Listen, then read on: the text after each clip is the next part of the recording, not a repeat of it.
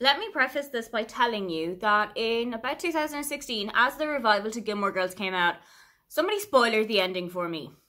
That was what, five years ago by now? I still haven't spoken to them.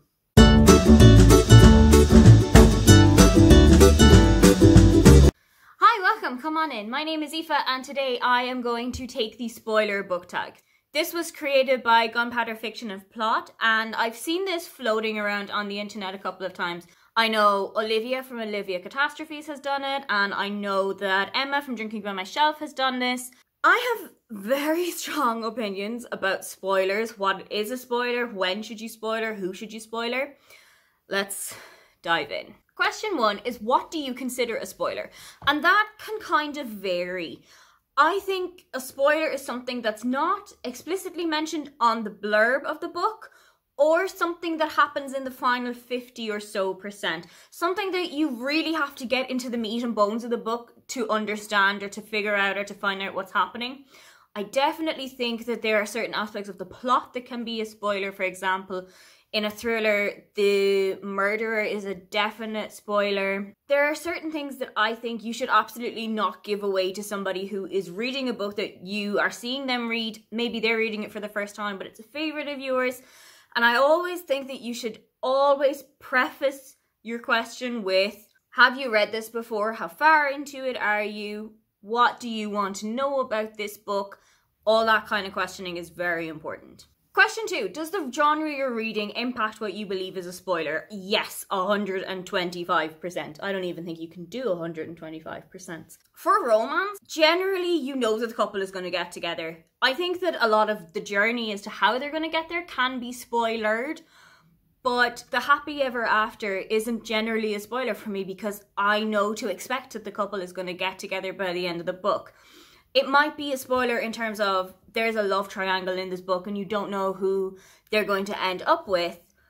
But in the main part, you know that there's going to be a couple by the end of this book. You might not know who the couple is going to be comprised of, or you might not know how they got to get together, but you know that something's going to happen. I don't mention it a lot here, but I also read quite a lot of thrillers, and I think that The Murderer is definitely a spoiler. There is absolutely no way that you can go into a thriller book reading it and say, it was the grandmother that did that.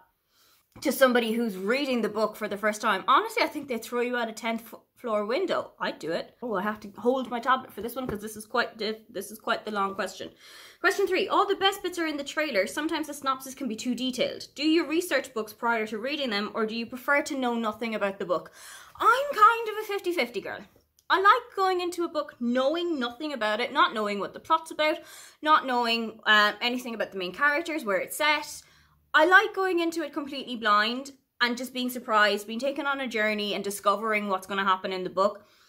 But at the same time, I also like knowing a little bit about it. Sometimes I will read the blurb, but not heavily read it, more so cast an eye over it. So I'm kind of a 50-50. I'm on the fence with that one, let's say it like that. Question four. Sometimes the introduction or translator notes can spoiler the ending, especially for classics. Has this happened to you? I don't think so. I don't read a lot of classics, so that hasn't happened for me. Although I have had classics spoiled. But then again, you have the question of can you spoiler a book that's over 200 years old? For example, I've never picked up Pride and Prejudice before, but I know the basics of what happens to it, mainly because it's been so long in the public mouth that everybody is talking about it, but also because I've watched a video called John Mulaney Explains Pride and Prejudice to You, where it's basically just John Mulaney quotes from his stand-up shows that fit into the plot points of Pride and Prejudice.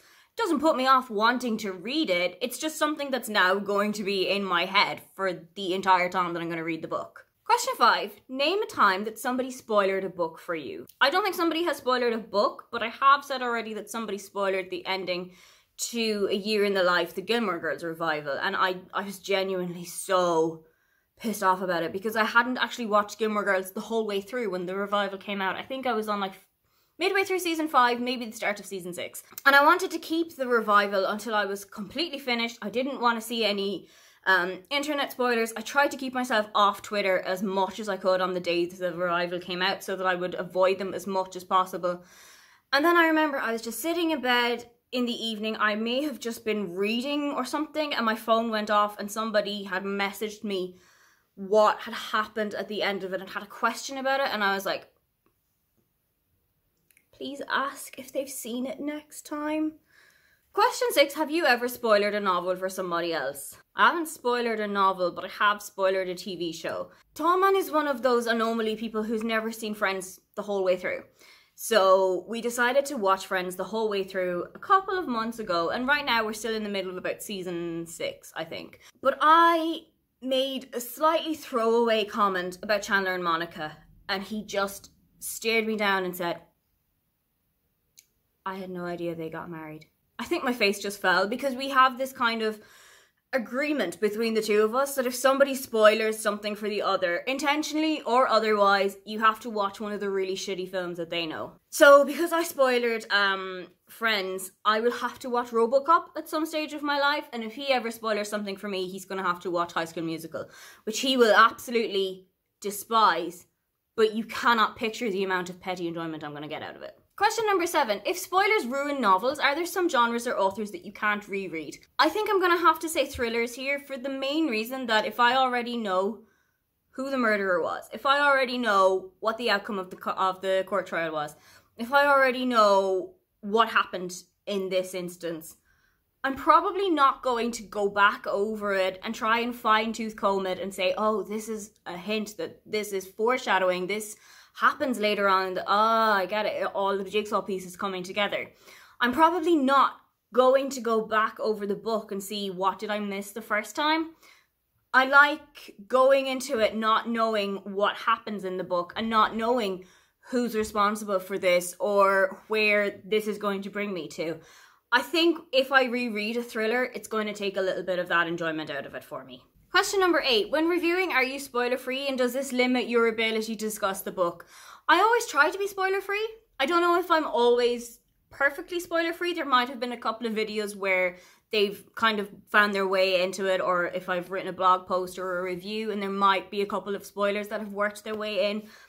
But it's not something that I'm intentionally doing and I will always try to keep as vague as possible as to what's happening in the book. I'll generally try to stick to what is mentioned on the blurb or something that's happened in the first 30 or so pages because I know that that's quite a popular place where people who are going to DNF a book will just throw it to one side. It doesn't really affect how I talk about books, but it does make me a little bit conscious of what I'm about to say.